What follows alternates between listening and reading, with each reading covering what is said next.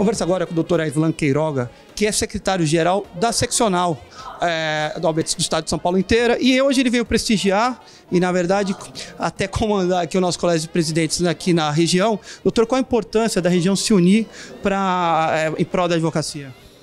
Olha, é sempre importante né, que os colégios de presidentes se reúnam né, para discutir as questões estratégicas de toda a região em favor da advocacia. Né? Baixada, nós temos aqui 12 subseções que compõem este colégio.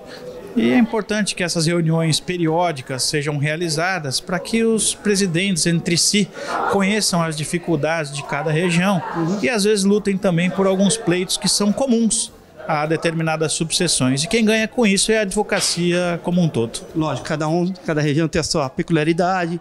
Agora, em conceito geral, é, quais são os objetivos traçados aí pela seccional? Porque há muitos problemas que a advocacia passa e o Estado está à frente de tudo. E como é que, nesse próximo treino, que a gente pode esperar?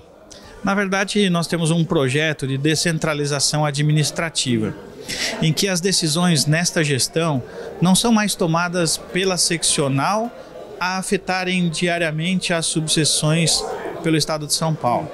Nesse, nessa nova gestão, nós esperamos trabalhar em conjunto com os avanços e com os, os, pedidos praticados pelas subseções, para aí sim, após análise da seccional, traçarmos um plano de estratégia de trabalho em conjunto que será implantado.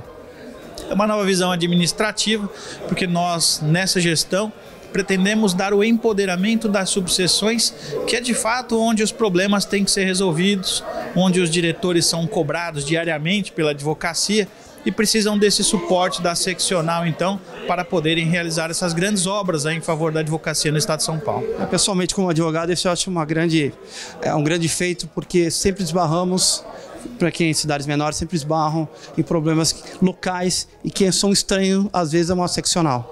Perfeito. E aí, daí a importância também dos nossos diretores, todos os diretores da seccional, nosso presidente Caio, nosso vice-presidente Ricardo, eu como secretário-geral, nossa secretária adjunta Margarete e nossa tesoureira Raquel, estarmos antenados com as necessidades das subseções e saindo dos nossos gabinetes para ir até as, as subseções e entender qual é a dificuldade, qual é o projeto, qual é o propósito de cada uma dessas lideranças, para juntos tentarmos implantá-los aí em favor da advocacia.